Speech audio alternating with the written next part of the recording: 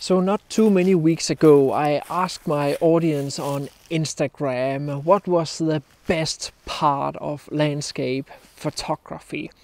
And this video here is also a little bit of a response video because often videos on YouTube has a tendency to have like a little bit of a negative connotation. Like I admit fully that I'm part of that, like making mistakes videos and avoid this, avoid that, and problems with X and Y and so forth. So let's try to have a positive vibe in this one. So the first thing that really jumped out on all the answers that I got was the exploration part of landscape photography. And yes, I can completely acknowledge that exploration is a huge part of landscape photography. Going out to new places, seeing new stuff, and exploring just like a new forest that you have never been to before, going to Iceland and out into the highlands, being in places that you've never seen before and trying to come up with and find new compositions. It is just fantastic. And then especially when you do explore and you do get the right conditions and then you in the end actually get the shot, then you most certainly feel a sense of proudness. So the next aspect that you guys could definitely agree about is a favorite part of landscape photography is the creative process. And I completely agree. The creative process is probably actually my favorite part of landscape photography.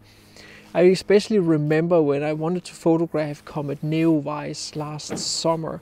I actually made two videos here on YouTube that you can check out, but that entire process was just really fantastic. I have really fond memories about it, even though I was like a zombie who hadn't got enough sleep over that period. And I even in that process came up with a lot of new ideas and got a lot of new photos that I want to save for a future project, hopefully this summer here.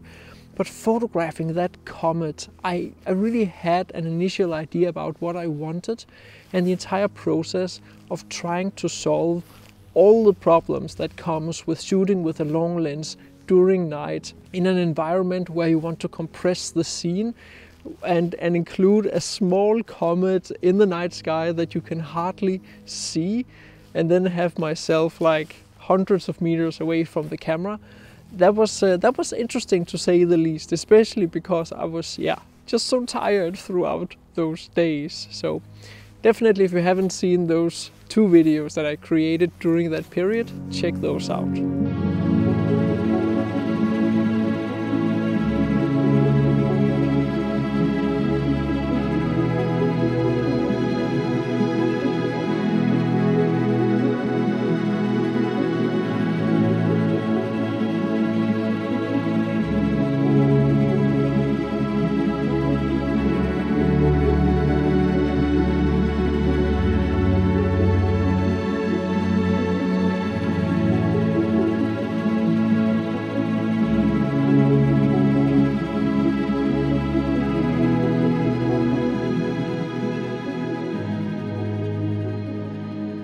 The third thing that a lot of you could agree about is to be out in nature and experience a specific moment.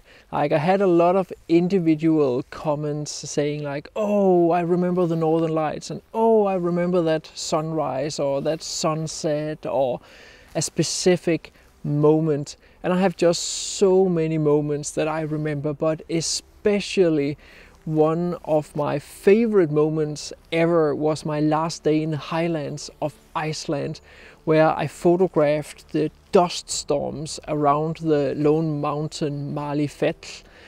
It was just out of this world flying the drone above those dust storms, driving the car in there, getting these photos that, at least from what I have seen at that time, was rather unique.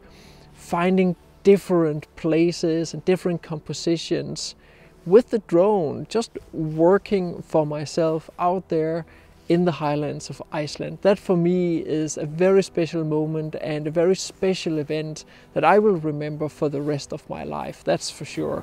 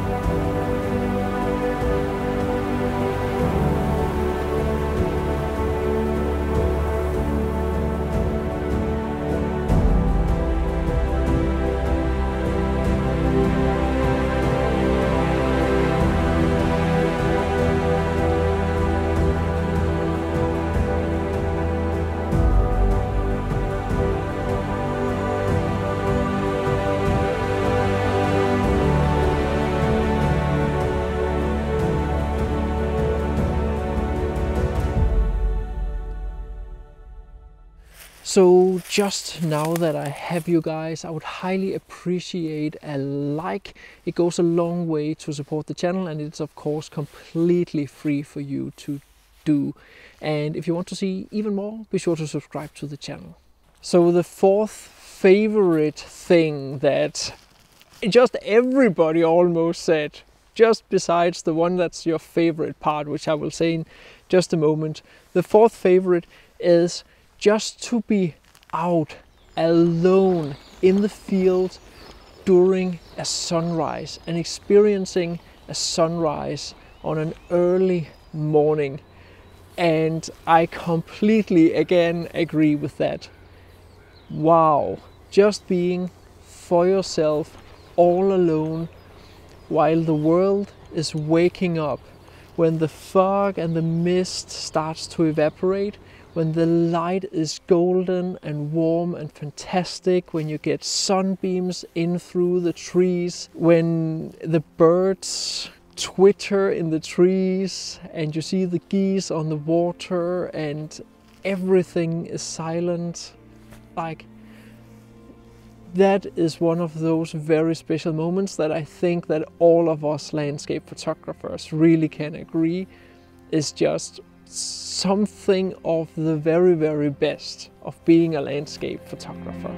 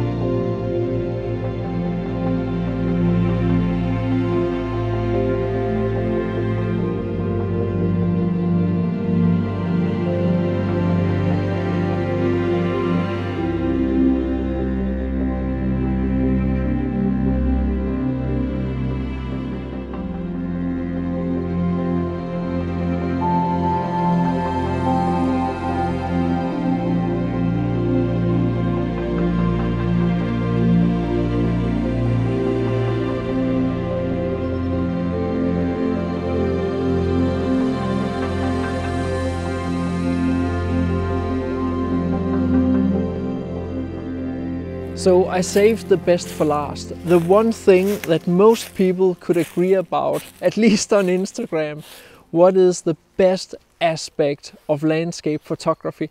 I think it was even like at least 50% of all the answers I got agreed that just being out, just being out in nature that is the best part of landscape photography. I'm actually surprised that it has not really a lot to do with photography in and of itself. But yes, I completely agree.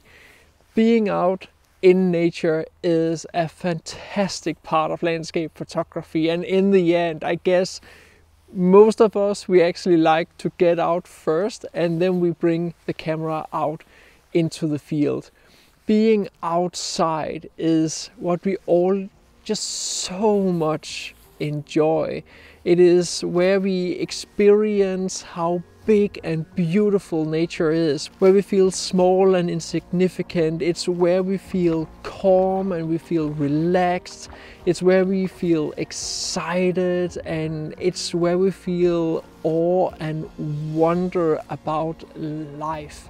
So, yes, just being outside recharging the batteries before a stressing day, before a stressing society, before all the negativity we get through the media, we get through the social medias, and yeah, I can just continue.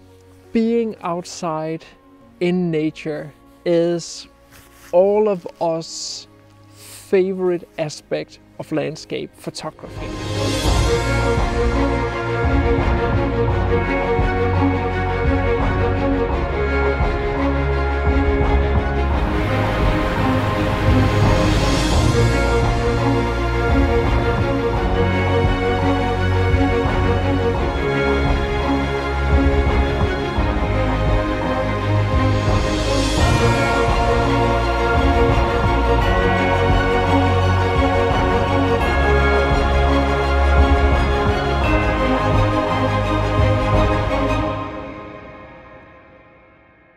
Enjoyed this very alternative video from me and this homage to nature. If you want to learn about composition in landscape photography, be sure to get my two ebooks. And if you want to learn how I edit my photos, be sure to join my huge Photoshop for landscape photographers from beginner to advanced post-processing course. There is a discount code down in the description. Subscribe to the channel if you want to see even more landscape photography videos and thank you so much for watching.